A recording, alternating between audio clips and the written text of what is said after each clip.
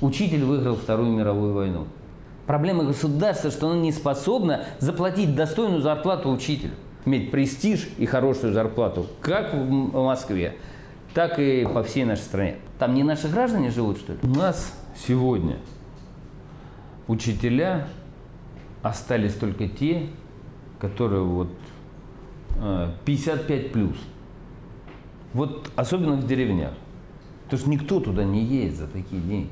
Они там работают, потому что они, вот, понимаете, э, как-то считают уже необходимым. Не потому, что они там зарабатывают деньги. Ну, всю жизнь так прожила.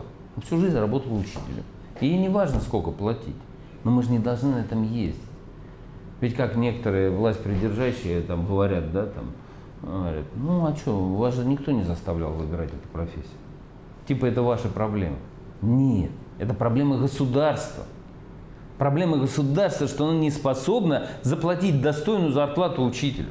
Знаете, вот где-то ехал и видел плакат. Учитель выиграл Вторую мировую войну. И я с этим согласен. Да, учитель, который научил людей любить свою родину. Знаете, вот он, он так мыслил, правильно, абсолютно.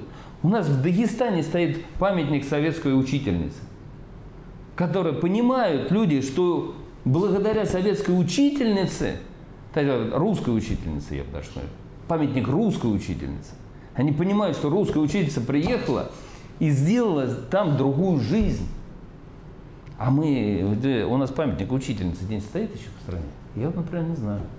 В Дагестане есть, ну, тоже наша страна. В центральной России есть? Нет. Потому что настолько выбили престиж этой профессии, что, конечно, никто не хочет учить. Если ты ни, ни, ни на что не способен, ну иди в учителя, типа того. Сегодня престиж этой профессии должен быть поднят просто на несколько порядков. Выше поднят на несколько порядков. Точно так же учитель должен быть, иметь престиж и хорошую зарплату, как в Москве, так и по всей нашей стране. Одинаково. И это надо сделать для государства. Это жизненно необходимо. Третья задача, которую мы должны решить полностью. Я считаю, что учитель и в Москве, и в Урюпинске, и в Улетах, и где угодно должен получать абсолютно одинаковую заработную плату. Да, там может быть выслуга лет, категория, другой вопрос. Но одну и ту же по всей стране.